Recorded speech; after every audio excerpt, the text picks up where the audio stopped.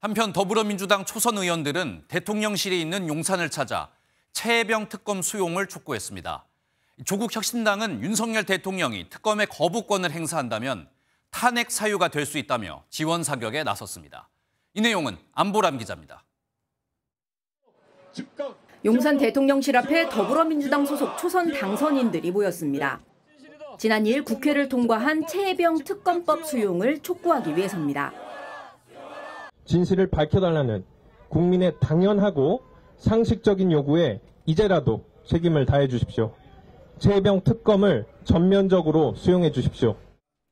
윤석열 대통령이 최근 기자회견을 통해 밝힌 선수사 후 특검 입장에 대해서는 지금까지 도입된 15차례 특검 중 국정농단 특검을 비롯한 6건이 기존 수사가 끝나지 않고 출범했다고 주장했습니다.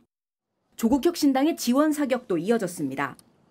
지난 10일 시작된 국회 천막농 성장을 방문해 대통령 탄핵까지 거론했습니다. 대통령이 거부권 행사하는 것은 헌법이 규정한 거부권 취지에 정면으로 역행하는 헌법 위반 사안이라 생각합니다. 헌법 위반은 곧 탄핵 사유에 해당이 됩니다. 민주당 내에서는 22대 국회에서 대통령의 거부권을 제한하기 위해 원포인트 개헌을 하자는 제안도 나왔습니다. 이르면 오늘 윤 대통령이 최혜병 특검법에 대한 거부권을 행사할 거란 관측이 나오는데 민주당은 야권 공동 장외 투쟁까지 불사한다는 방침입니다. MBN 뉴스 안보람입니다.